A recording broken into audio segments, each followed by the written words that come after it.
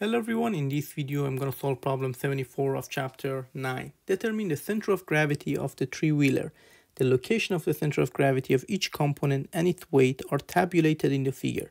If the three-wheeler is symmetrical with respect to xy plane, determine the normal reaction each of its wheels exerts on the ground. So the problem has two components. In the first component, we want to find the center of gravity. In the other component, we want to have the normal reaction of the wheels. So to find the center of gravity, we have to use the composite body equation, where x bar is summation of x bar i, wi. Here i is changing from 1 to 4 because we have 4 components, divided by the total weight. 1 to 4. So the denominator is the total weight, W. So we can find W by adding all these components together, which gives us 231 pound. And then we can find X bar based on uh, the centroid of each component. So if I write it here, X bar I have the first component 18 pound the rear wheel the centroid for that would be 4.5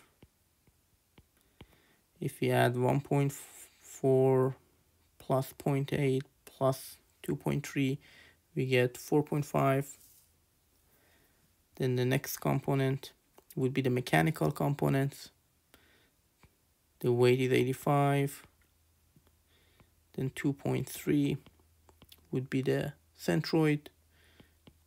Similarly for frame 3.1 and then at the end front wheel which we have the magnitude 8 but the centroid is 0 so this component is 0 and the denominator is 231 that we previously found. So X bar is 2.81 feet. We can do the same thing for Y bar.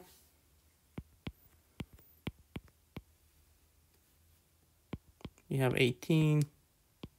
The centroid Y bar 1 is given to us 1.3 plus 85, 1.15 plus 120, 2 plus 8, 1 divided by 231 we get 1.72 feet that's the first part of the problem finding the centroid or the center of gravity. Here is technically center of gravity because we are not talking about the geometry necessarily but the weight. The second part wants us to find the reaction forces so we need to draw the free body diagram.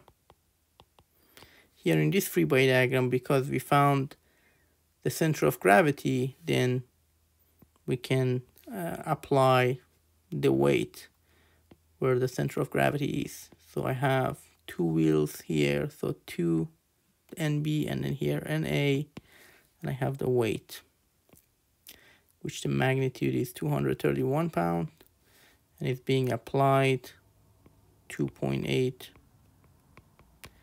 feet away, and the total distance here is 4.5.